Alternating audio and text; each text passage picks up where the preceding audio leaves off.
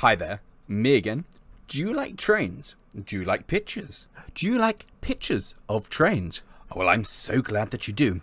In a past life, I was a semi known railway photographer, and so in this week's live stream, yes, it's a live stream coming up, I'm going to be showing some of my favourite photos and talking about the stories behind them. So join in at 7 o'clock on Thursday as we go through some of my photos. Hope to see you there. Tra!